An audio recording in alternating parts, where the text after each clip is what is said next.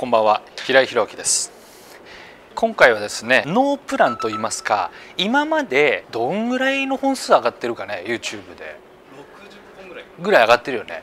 60本ぐらい動画をちょっと登録に上げてもらってるんですけどもその中で8割9割いってるよね。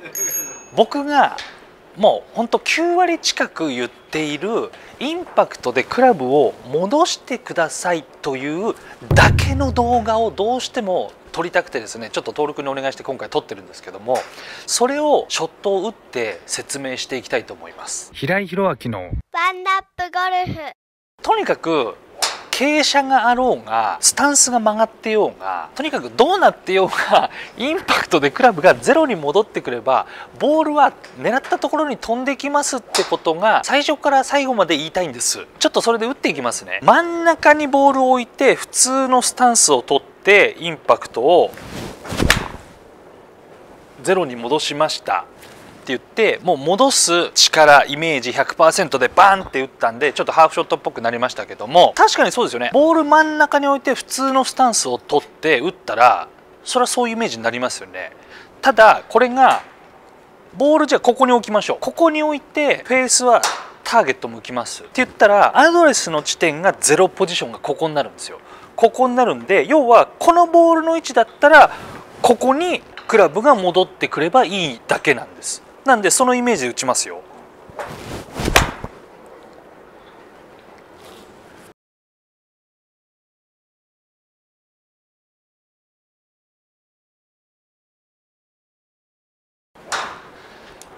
したらまあまああんな感じの普通の球が出ますよね。で今度逆やってみます。ドライバーよりボール左。でアドレスがもちろんこうなりますよね。この手の位置。でヘッドを前出ます。要はこのボールポジションのゼロポジションがここなのでここにクラブが戻ってくればいいんです。そういうイメージで打ってみます。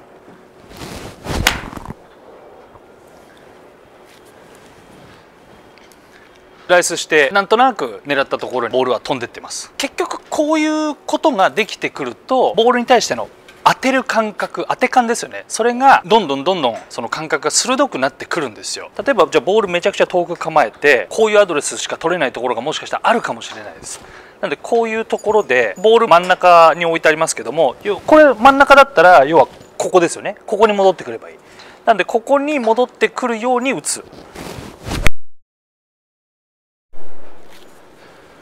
こういうことですよね。次にちょっと狭苦しい場所。こういうところで要はここに戻ってくればいいですよね。この姿勢もそうです。姿勢もクラブもこの位置に戻ってくればきっと当たるんです。このアドレスをしてるんで。当たりますね。これ全部一緒なんですよ。とにかくインパクトでアドレスの位置にクラブが戻ってこようと頑張ってるだけなんです。そう。で前動画で注意される逆をやってあれあったでしょ動画。あれと全く一緒なの。そう。例えば、まあ、今ちょっと暗くなってきたんでボール見えるかもしれないんで急に逆やりますシリーズになっちゃいますけども 結構多い注意されがちなこと。頭を残す。頭残さない。で頭残さないけどもクラブはゼロに戻します。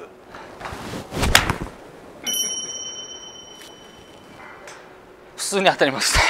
そう。でこういうことよだから右肩突っ込むなんだから右肩突っ込む。右肩を突っ込んで打ってみても全然普通に当たります。よく体重移動しなさい。体重移動しないで打ってみます。でもまあこれは僕が体重移動しないんで普通に打てます。真ん中に残って打ちました。こういうこと結構あるじゃない？例えば上下動するなとかいろいろ。こういうことってとにかく全て今打ったショット全部とにかくインパクトでしつこいけどもゼロに戻ってくるように振ってるだけ。そうどうしてもこれ撮りたかったんです。なんでちょっと登録にご了承して撮ってますけども。そうだそうそう。なんそう。何でもかんでもここにこうやって戻ってくるっていう意識だけしか持ってない。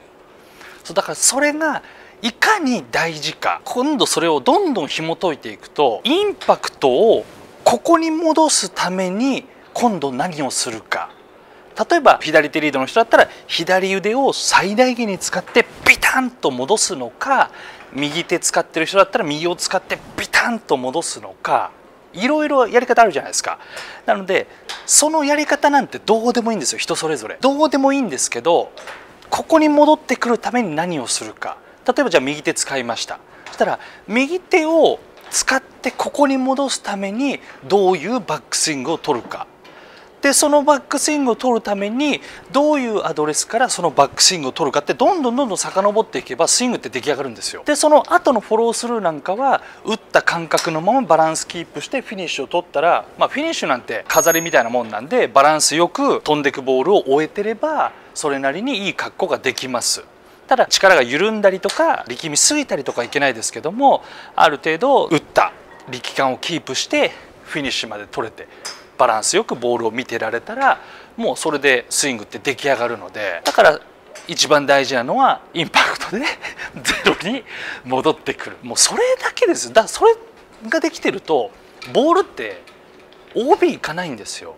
もう許容範囲の中にある程度飛んでいくことができるのでそれだけインパクトをじゃじゃーんっつってゼロに戻すことが大事なんですっていうことを、えー、言いたいだけの動画でした、えー、こんな動画でもですね本当に最後まで見ていただいた方本当にありがとうございます。今回もですね自分の熱い思いとかですね、えー、細かい内容についてちょっと説明させていただきました。最後までご視聴ありがとうございます。